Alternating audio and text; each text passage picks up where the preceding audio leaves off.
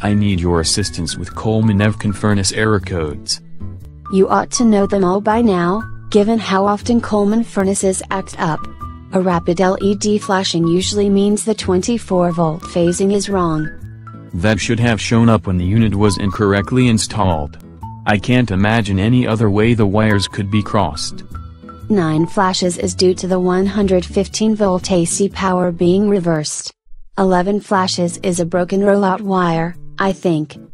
So 9 is something only an installer or bad repair person should ever see. What would break the rollout wire? A fried rodent chewing through the wires or messing up the ground might generate the error.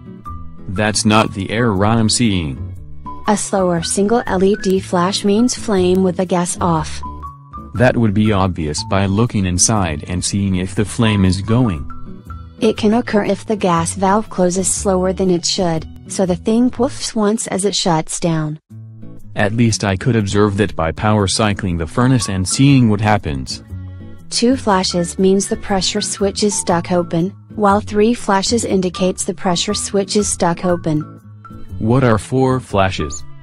Four red blinking lights indicates a limit switch error, meaning the limit switch is stuck open. Does five flashes mean it is stuck close?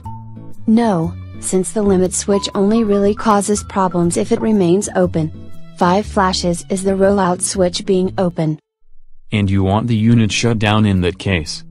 6 flashes means lockout caused by the pressure switch, while 7 flashes is a lockout caused by no ignition. Which could be a really dirty flame sensor or gas valve stuck shut. 7 flashes is lockout caused by a lack of ignition. That could mean the igniter needs to be replaced. 8 flashes translates to loss of flame. Whether that is due to a really humid furnace or char on the pilot tube, I don't know. In short, run the fan only mode to dry it out or clean it or both to see if it is something I can fix myself or call in a pro if it doesn't.